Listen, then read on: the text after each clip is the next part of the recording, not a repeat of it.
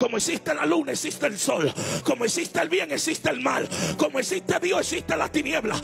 Poderoso testimonio el que escucharás a continuación. Quédate hasta el final de este video. Como existe la luna, existe el sol. Como existe el bien, existe el mal. Como existe Dios, existe la tiniebla. Lo único que el poder de la tiniebla es ilimitado, pero el de Dios no tiene límite. Alguien adore aquí. Y cuando estoy allí, me hincan delante del altar. Y cuando me postro delante del altar, apunto el nombre de la hermana mía. Apunto el nombre de quien la mató. Me dice el brujo clava el cuchillo de plata en medio del papel. Yo clavé el cuchillo. El brujo trae un gallo y cuando trae un gallo empieza a pasarlo por encima del cuchillo y me dice como el gallo se muera, el que mató a tu hermana se va a morir hoy. El gallo empezó a desmayarse, el brujo me miraba y se reía. Amado, de repente el gallo, un gallo negro, se sacudió y el brujo me dice hay problema. Y cuando yo miro el papel de la tierra, había subido sangre y había regado el papel. La pierna me chocaban una con otra. Amado, yo estaba en un lugar difícil y yo miraba a mi padre y él me miraba, los dos sudábamos. Y me dice el brujo, hay problema. Y yo le dije, ¿qué pasó? Él me dijo, lo que tú viniste a hacer salió mal. El que mató a tu hermana se va a morir, pero tú te vas a morir también. Hubo una guerra de brujería. Lo que el hombre tenía era fuerte. Y los demonios convidados, vamos a matarlos los dos. Cuando él me dijo eso, yo caí de rodillas en aquel centro de brujería. Pero escuché la voz de Dios en mi interior que me dijo, yo soy Jehová tu Dios y yo te saco de esta. Nada más. Neja no. Nada más. Leo. Agarró a mi papá, le digo, papi, me estoy volviendo loco. Y él me dijo, ¿qué te pasa? Digo, hablé con una culebra, cosa que para mí era imposible. Alabanza. Y ahora escucho una voz que no la veo, pero le hago caso omiso a la voz. Yo estaba bien atado en el mundo, mujeres, dinero fácil, droga, un nombre en la calle. Y todo lo que quería era mío. Bien montado. No estaba mal económicamente. Tenía todo. Y en Jaina Negrón pa' aquí y en Jaina Negrón para allá, los, los artistas negrones jamaiquinos, y por aquí una vanidad y una fama. A los 22 años, a los, desde, desde los 18 hasta los 22, 23, y una fama en el mundo. Y la mujer que yo quería en ese tiempo yo tenía cabello. No es como ahora que no ve mi esposa, alguien a Dios. Usted está aquí todavía. En ese tiempo yo tenía cabello, estaba en mi brío, yo no quería dejar el mundo. Estaba no atado, muy atado en el mundo. Alguien adore a Dios aquí. Y le hago caso omiso a la voz y le digo al brujo, mira, no hay nada que yo pueda hacer. Porque yo no me quiero morir. Yo nada más quiero que él se muera. Y él me dice, hay que ir a la otra habitación. Y hay que hablar con el hombre. El hombre, el espíritu de Satanás que se manifestaba en la culebra. Eso en Haití le dicen zombie. Ah, hello. La, la brujería es real. Pero hay un Cristo más real. Que saca pato. Que quebranta yugo. Que saca apellido. Ay, Dios mío.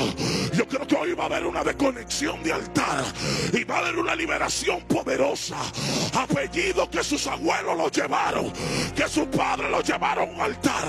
Hoy el Cristo que liberta.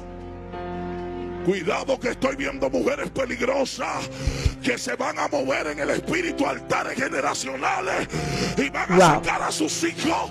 Y,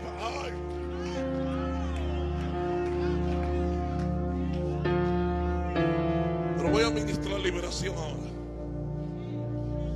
Cuando me llevan a la otra habitación, el espíritu no quiere manifestarse en la culebra. El brujo me dice, el hombre no quiere hablar. Como a la media hora se manifiesta el Espíritu y me dice, ¿qué tú quieres? Digo, yo no me quiero morir. Yo nada más quiero que él se muera. Y me dice, hay que buscar medio millón de pesos. Y yo le dije, yo voy a República Dominicana, yo hago lo que tenga que hacer, pero ese millón de pesos, ese medio millón de pesos, yo lo traigo. Y le pregunto, ¿pero para qué tanto dinero? Y me dice la culebra, a las 12 de la noche. Hay que ir a un cementerio en Haití. Y invoqué al varón de cementerio y que male 300 mil pesos. Yo sentí como que algo me acalambraba la piel. Y después me dice, sí, después que tú salgas de ese cementerio, hay que buscar una cruz de camino, una cruz de camino donde se hagan, donde se hay accidentes que ponen cruz, que según en el algor popular le ponen esa cruz, de que para que el alma del muerto no quede divagando. Esos son portales de brujería y hechicería como usted no se imagina. Y me dice, hay que quemar 200 mil pesos en una cruz de camino. De nuevo caí de rodillas y escuché una vez más la voz de Dios que me dijo, te dije que te vaya porque yo soy Jehová tu Dios y yo te saco de esta. Agarré a mi papá, le dije, papi, escucho la voz de nuevo que me está diciendo que me vaya. Cuando estoy saliendo del altar, el brujo me dice, no soy responsable de lo que pase contigo y tu familia. Sí, porque ellos te dicen que te van a resolver, que van a matar a quien te hizo el daño, que te van a dar dinero. Lo que ellos no te dicen es que tu apellido, tus hijos, tu padre y tu madre quedan ligados a un pacto. Por eso usted ve familias que todos los años se le muere uno y mueren de manera violenta, que hay pactos generacionales. Y usted dirá, pero mi hijo nunca fue, pero mi madre nunca fue, pero mi tío nunca fue un altar, pero su apellido, su ADN quedó ligado a un pacto que una cabeza de generación hizo. Y como esos demonios se creen los dueños, amados de ese apellido y de esa generación por un pacto de sangre que se hizo, ellos van y te atacan. Pero tú sabes lo que hizo Cristo. Los pactos más fuertes en el mundo del ocultismo son de sangre. Tú sabes lo que hizo Cristo. Ah, el asunto es con sangre. Voy a la cruz ahora. Voy a la cruz ahora. Voy salta la batalla. Se tu. Ajá tiene legalidad porque se derramó sangre. Ahora muero y vierto mi sangre por ello. Por eso la Biblia dice que el precio que usted se le compró fue a precio de sangre. Deme dos minutos y vuelvo al testimonio. Necesito soltar esto aquí. Vamos, provóqueme, provóqueme, aplauda a Dios. Necesito soltar esto aquí. Ah, sí, sí, sí. Provóqueme, necesito soltar esto aquí. Mire, cuántas mujeres han parido naturalmente aquí. Dios mío, yo voy a soltar esta gloria. Las mujeres que han parido naturalmente tienen dos principios y conocen dos misterios. Pregúnteme cuál es. Número uno, cuando usted pare natural, lo primero que usted bota es agua y luego que usted bota sangre. Cuando a Cristo lo traspasaron en la cruz del Calvario, lo primero que botó fue agua y después botó sangre, dándole a entender al diablo, estoy pariendo al mundo de nuevo. No, no, no, no, no. Ya voy a soltar esto. Ay, ay, ay, ay, ay. ¿Tú sabes qué pasó? En el huerto, cuando Adán pecó, le quitó la legalidad del mundo y le quitó el título y le quitó la llave. Cuando Cristo muere, le dice: Devuélveme el título.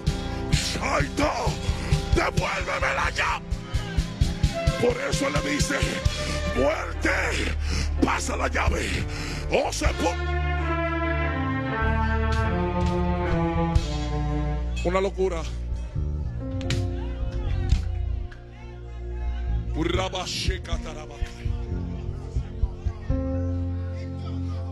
El enemigo estaba contento y celebrando porque las almas las tenía en sus manos.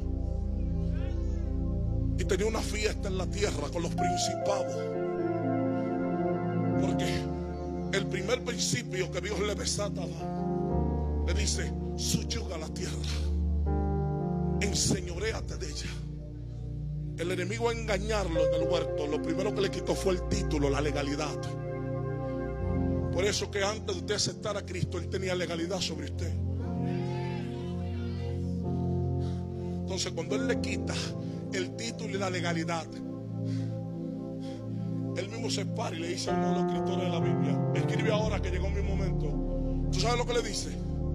Dile a ellos que yo soy el príncipe de este mundo Y cuando yo leí eso, yo me turbé. Que Satanás es el príncipe de este mundo. Y el Espíritu me dice, ve a Mateo. Y cuando voy a Mateo, que leo los cuatro evangelios, veo que cuando Cristo murió, le dieron un título. Rey de reyes. Señor de señores. Y el Espíritu me dijo, todo rey está por encima de todo príncipe. ¡Ah! Usted cree que nosotros le servimos a cualquier Dios. Por eso Cristo le dijo, ahora escríbeme ahí. No es María, no es José, no es San Miguel. Yo soy el camino, la verdad y la vida. Y nadie oh, te clavo a libre. Dios cuando tiene un propósito con una persona, Él hace como Él quiere. Ahora bien, tú que has llegado al final de este testimonio, coméntanos qué opinas referente a esto. Dios te bendiga y Él te guarde.